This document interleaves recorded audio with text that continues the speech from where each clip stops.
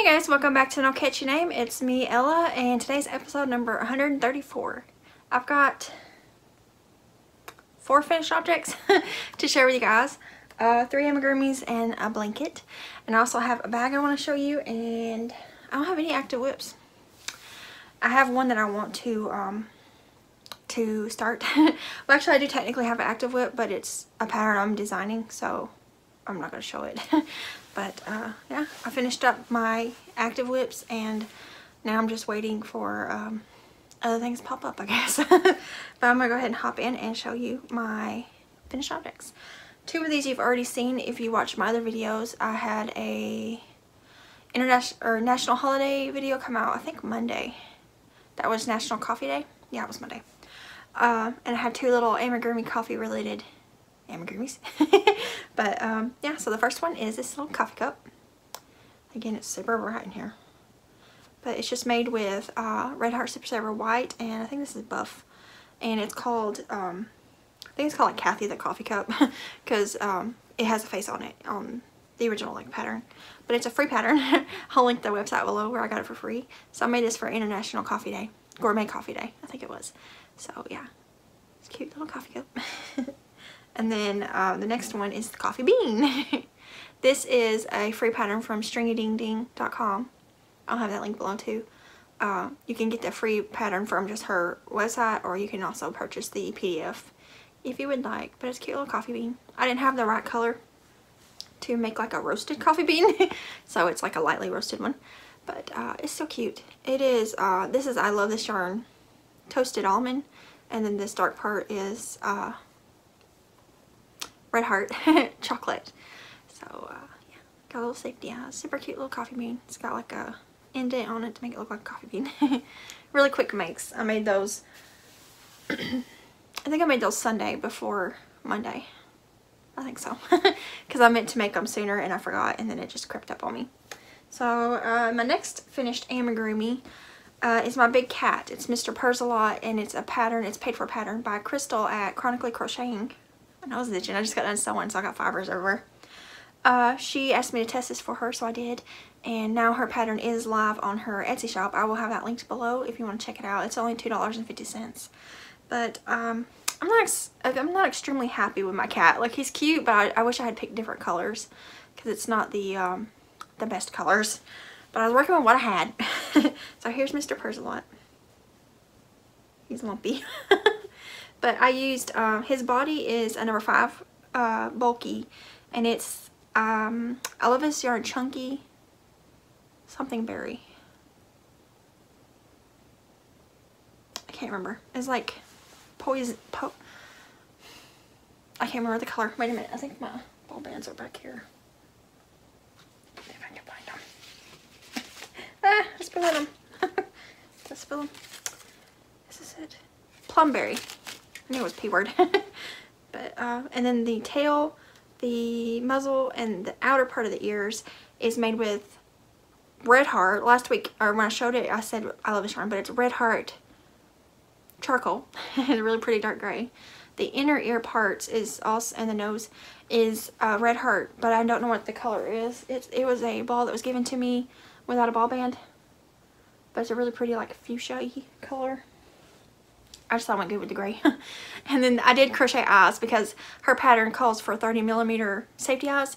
And I could have ordered them, but I really don't like ordering stuff. Um, I think I might order some of those soon anyways because I want to make some of the baby Yodas. I have people in my life who want those and they take that eye size. And I want to make some more of these cats. So I just made my own eyes. And what I did is I took some blue. It's another red heart. Just like scrap ball. um, and I did a few rounds of blue and then I did a round of black. And then I used uh, pieces of black and white yarn to stitch on like the eye stuff, the pupil I guess, and the glit, glint, I ever say that. And uh, I just thought they were cute, cute uh, eyes. And then I did stitch on the whiskers, but they're kind of hard to see in camera. You can see them better in real life uh, because of the color. But yeah, so that's him. I was going to put him in my Etsy shop, but I don't think anyone's going to want him. I don't know. I just don't think he's as cute as everybody else is. Crystals are so cute. She's really cute yarn. And the other Crystal made one. Uh, Ricola's Crochet Corner. And who was the other tester? It was me and somebody else. I can't remember. but um, Crystal did put up a video showing all the cats. But yeah, so there's my cat. I don't know if anyone's going to want to buy him. If anyone's interested, let me know. but I, I think he's just kind of... I should have picked better colors. I don't think I picked good enough colors. But now I have way more yarn to choose from. So, see, I was trying to stay with using the yarn she called for, which was number five.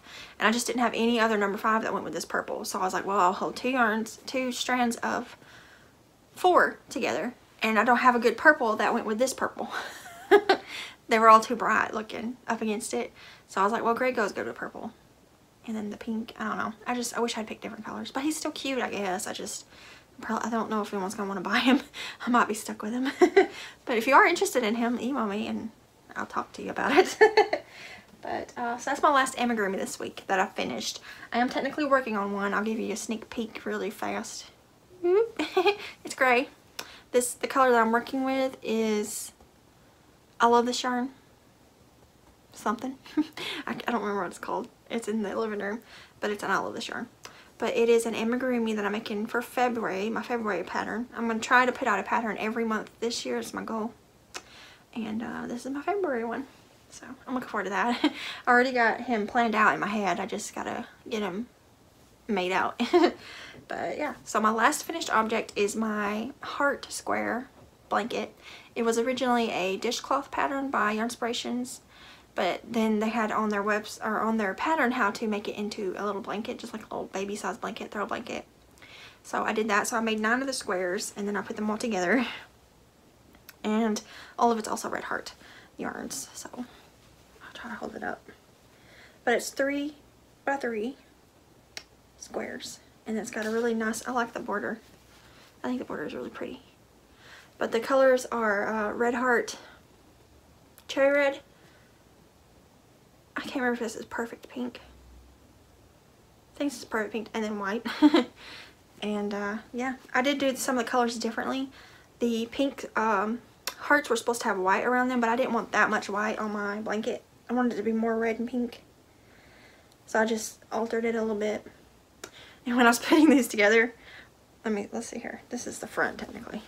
I was showing you guys the back. But one of these pink ones, one of the pink squares I put on backwards. Let's see here. Yeah. Okay. this is the front. All these squares are facing forward and this pink one on the bottom is backwards. But no one's gonna notice that. No one's gonna no one's gonna know that. How would they know? No one's gonna know. How would they know? yeah, I think it turned out so pretty. Look how pretty it is. It is little. It's kind of, I didn't measure it. I should have measured it. I always forget to do that. but um, it's like baby blanket size, I would guess. I would guess it's like 30 something inches by maybe 30 something inches. I'll try to remember to measure it eventually. Oh. but I think it's so pretty. And I just made it to drape over my couch or chair during Valentine's season, which in my house it's Valentine's season right now. All my other Valentine's decorations are out already. But yeah, it worked out super fast. I kind of procrastinated starting it. I was doing other things. But once I was able to finish up like that test pattern and all that, it just flew. I actually finished this all up yesterday. The last time I showed it to you was the last time I worked on it. And then yesterday I sat down and I finished the whole thing. which was uh, the last three rows of each square. These strap parts right here and then connecting them together and then doing a border around it. And the border is three rounds also, I believe. And I did switch out the colors of the border because I wanted red to be the last color and I wanted white to be this part that pokes through. and, um, did I do anything else different? Oh yeah, the pink, all the parts that's pink, I used an I hook because this red heart pink color is super thinner than regular red heart. Some of the colors are like that. I know uh, the grays are usually like that, these red heart grays are thinner than like red cherry red. And then all the other, the red and white, I used H hook. Did I do anything else different? I don't think so. I, I love it. I think it turned out so cute. It looks cute on our couch because we have a gray couch. Gray-ish. it's not super gray anymore because uh, Jesse, we gotta get a shampooer. but uh, yeah, I think it's really cute. It is small, but I mean, it's pretty. You could easily make it ginormous, you know, just make more squares. And there was a difficult part of the pattern though they um, the section of joining the squares together was written very poorly or I interpreted it very poorly because I first started joining it along the top and I realized that wasn't right. So I had to rip it out and it's they're joined down the sides and they're joined in twos. I guess in strips of threes. But, um, cause like right here when they cross, I just went over it. I didn't, cause it's, it kind of looks like a jangled up mess if you're super close to it. But, um, I couldn't understand what they were meaning. So I just, I just winged it. but it did give this cute little effect that it was on the picture. I kept referring to the photo because the way they had it written out was confusing to me. So I just looked at the photo and did what it looked like they did. so I just went with it. And then, but I love that border. I think that border is so cute. And the colors, it's just so pretty. And on this side, you know, it's a little bit different. One of these sides. This side, it's different because the different color squares there. So it just, it's pretty. I don't know. I just like it a lot. I think it's really pretty. yes. And I already washed it. That's why it's so floopy and floppy. And it's way soft. I know a lot of people complain about Red Heart, which irritates me to death. I hate it when people yarn snob. Because me, I'm an acrylic person. As if you couldn't tell. I love making Jesse's play food. I seen that in the uh, other video the other day. There's a corn and a potato. Thought it was over there. but anyways, I enjoy using acrylic yarns. And I started, when I first started crocheting, I used Red Heart Super Savers. What was at Walmart when I start, first learned how to crochet. They're great for a lot of things. I know some things they're not great for. Like I probably, well I don't even know. Because like people say, oh it's so rough, it's so horrible, I don't like the way it feels, blah, blah, blah. But this has been washed and dried. One thing that's awesome about acrylic is you can wash it and dry it. And it's super soft. Like I've slept with acrylic blankets on my body. I wear acrylic hats and scarves and mittens. I don't know why some people are so yarn snobby. I don't know. It's like they start using wool and then they think they're fancy. but I don't like using animal fibers because to me they're real itchy. I cannot use alpaca at all. I'm allergic. And wool, like I can use wool blends like um like Caron cakes when there's just like a little bit of wool or even like 75% wool and, and under is good with me. But anything that's like super woolly, I don't like. It's too rough. And I don't see why people like wool hats because I had one once that was a wool hat and it super irritated my skin up here. Like scratched it, it felt like. So I don't know. I don't get why people yarn snobs so much. I get like these pretty hanks that are super wash and fancy. But um, I don't know. I just wish people quit putting down acrylic because I feel like that would be discouraging to new people because, you know, new people like me, they don't know any better. They're just going to buy yarn and hook and go for it. but then there's people out there who talk about how horrible Red Heart is and how itchy it is and stiff it is and how I would never make a garment out of that because it's so horrible. And that is discouraging for someone who's just learning or someone who can't afford something better. So people just need to watch what they say. I think people just need to, you know, think about things before they say it because uh, it's hurtful. Like it hurt me. I'm a seasoned crocheter, I think. You know, I've been doing it for what 18 years, and I'm fairly good at it. Um, but I was watching a video the other day, and if someone I respect, you know, it's a new person to me, but I, I respect them because I, you know, just started watching their videos, and they were saying all these horrible things about acrylic yarn, and I was like, man, you're, you're really hurting people because people who are brand new at the craft that could be getting inspired by you might have just gotten super discouraged. Yeah, just be careful what you say. acrylic yarn is perfect. I make all kinds of stuff out of acrylic, and this is super soft. Like, I would put a baby in this. Jesse's blankets were acrylic when he was a baby. So, yeah, just wash it. and that's that's my tangent anyways, I wanted to show you two things. I don't have any WIPs. I do have an upcoming WIP and it's a pair of mittens. And I was like, go figure, because all that Bernie stuff, and now the mittens are crazy. I wanted to make mittens, and now everybody's going to think I'm making mittens because of those mittens. But it has nothing to do with that. I just want some mittens. but um, I started making the tote bags with pockets. I got two done. but here's one of the tote bags. I don't have the snap on it yet. Uh, I just literally sewed these a little while ago. But it's that mermaid print with the handles. And it's going to be hard to show you. I guess it'd be easier just take the liner out. Fluff it. Okay, so the liner's out of the bag. I had to put the tags in the bag because I forgot to put them on the outside of the bags. so all the tags will be on the inside. But I guess you could use it to hold um, a hook or something. But anyways, there's a pocket here. And then there's two hook size pockets. And I put multiple hooks in here to make sure they all fit. The big um, ergonomic ones and my littler hooks, all that, they all fit in there. Oh yeah, pocket. People's been asking for pockets. I made some pockets. And these are just my first pockets, so you know the next the next set of bags might have different pockets. I don't know. It's just I develop a style, you know, after doing it a few times.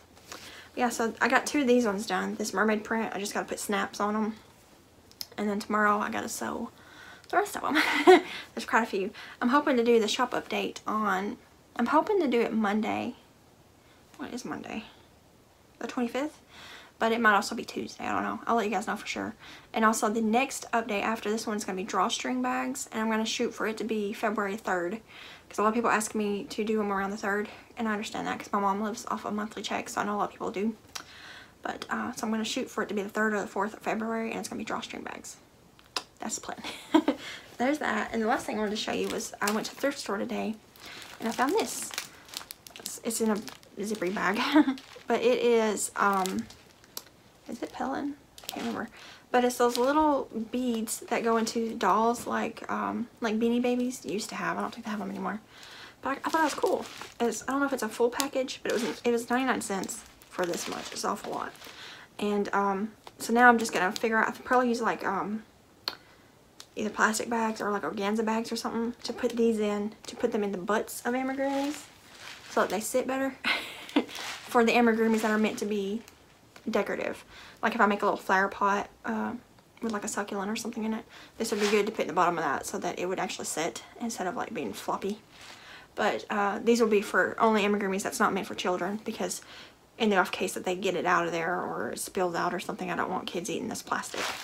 It is 100% polypropylene. Propylene. But yeah, I thought that was a pretty good deal. Because there's a sticker, it's 99 cents, and when whoever bought it originally, it was $4. I don't know how old this is. The package looks old, but I know sometimes they put uh, old prints on there. But yeah, so I'm just going to leave it sealed up until I'm ready to use it. But I thought it'd be good to make, um, you know, like I have stuff sitting around for uh, decoration. So I thought it'd be cool to put it in decoration type amigurumis and then put it in my Etsy shop. But I, I will always label that it's uh, got these in there and that's not intended for children under, I don't know, i have to look up the, does say in here? Probably like under five. Kids that still put stuff in their mouths. Probably three and under. I don't know. Jesse wasn't a mouth kid. He, he didn't really put anything in his mouth. Uh, I think it says it's non-toxic. I, I don't have anything in here to open it with. Yeah, it says non-toxic and washable. But like, I still don't want my kid eating that, you know. No one wants their kids eating non-toxic stuff. Crowns are non-toxic, but like, don't eat it. but anyways, I just thought that was neat. 99 cents. Good deal. But yeah, so that's everything I have to share with you guys today because I don't have any active WIPs. I will have some WIPs, Maybe. Unless I get crazy busy and use them. But anyways, for my mittens, I already, I already have, I found a pattern I'm going to use. I'll link it below too. It's called Mrs. Murdock's Mittens. It's like a basic just mitten. and I'm going to use up here, there's purple and gold, white, and I think there's some gray over here somewhere. It is the Just Yarn, Premier Just Yarn from the Dollar Tree. I thought I'd use that because uh, I wanted to, know, it's just dollars. So I want to see if I can make some mittens with it. it's a number four worsted, so I think it'll work good. And that's what the pattern calls for. So yeah, maybe I'll show them next week. And hopefully my new pattern will be ready soon. and I think that's everything I have to share with you guys. Oh, I do have one more thing. These little things that was gifted to me recently. What are these called? She told me and I don't forgot. They go on yarn cakes. So as you as you use them, they're stretchy they shrink with the cake to hold it, you know, tighter so that it doesn't like fall apart. I forget what these are called. She, Haley, is, I did a swap with her and people were asking me where she bought them. She didn't buy them, she made them. And she told me she used to have an Etsy shop where she sold these and um, it's closed now, but she's thinking about reopening it. So, uh, I will tell you guys, I'll let you guys know if she does reopen. Um, what am I trying to say? Water shop is. I could probably make some of these. I think it's just jersey material. I don't know how much to sell them for though. Probably cheap because I mean they're just like a little piece of material. I don't know, maybe I'll try to make one of these. Would anyone be interested in buying these? I don't know. Let me know. if you guys are interested, I'll try to make some. Make them in different sizes too because some of them cakes are ginormous. but yeah, I just want to let you know because a few people asked me that. But anyways, I'm going to go ahead and hop off here and I'll see you guys in the next video. Bye guys.